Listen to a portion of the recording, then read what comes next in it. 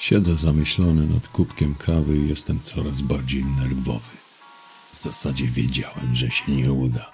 Nigdy się nie udaje w niedzielny wieczór.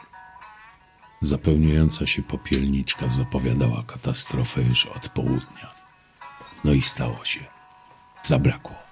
Akurat tu i teraz. Teraz, kiedy wiejski sklep straszy w ciemności opuszczonymi żaluzjami, a najbliższa stacja benzynowa wymaga czterokilometrowej wyprawy. Teraz, kiedy za moment mam siadać przed mikrofonem i skupić się na nagrywaniu wypocin celofana, mojego zakręconego nieco kolegi. Ale decyzja mogła być tylko jedna. Jadę. Przez moment wahałem się jeszcze, czy nie wybrać roweru, ale spadający we krwi poziom nikotyny szybko rozwiał moje wątpliwości.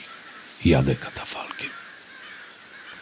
Nie ma co opisywać trywialnego wyprowadzania maszyny z garażu.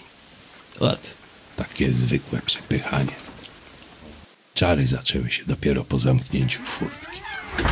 Niepozorny guziczek ożywił bestię, a jedenaście potężnych koni rwało się do skoku w mrok. Nie wiem, czy to drgania silnika delikatnie łechcącego moje lędźwie, czy świadomość nadchodzącej przygody wywołały przyjemny wyzwód.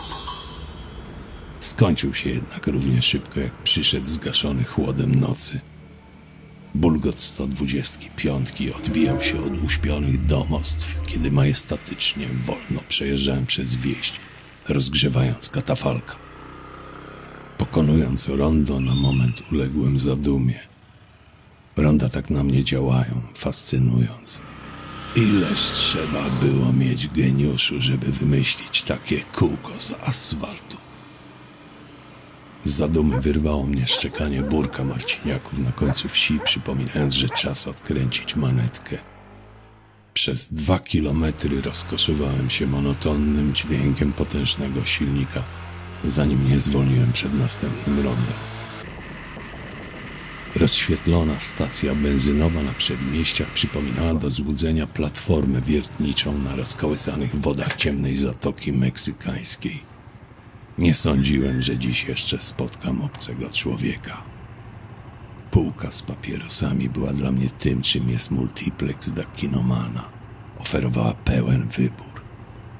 Znudzony sprzedawca podał mi dwie paczki moich malborków. Z jego oczu wyczytałem rozczarowanie skromnym utargiem. Ale ja już myślami byłem w domu.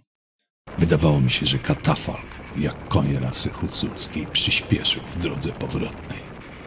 Gasząc światło w garażu, z czułością, ostatnim spojrzeniem omiotłem ten kawał srebrnego plastiku.